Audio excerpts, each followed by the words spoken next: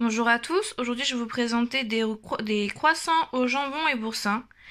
Je vous souhaite une bonne dégustation et je vous laisse avec la suite de la vidéo pour les ingrédients déroulés de la recette. Pour cette recette, vous aurez besoin de 3 tranches de jambon, de 250 g de boursin, d'une pâte feuilletée et de 70 g d'émental râpé. Donc je suis venue tout simplement étaler ma pâte et la détailler en quatre parties égales.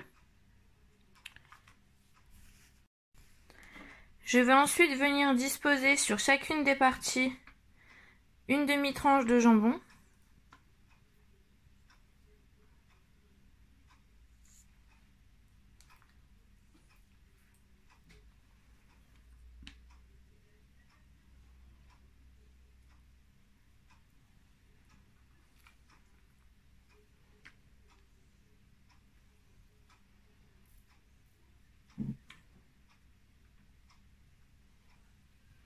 Comme ceci.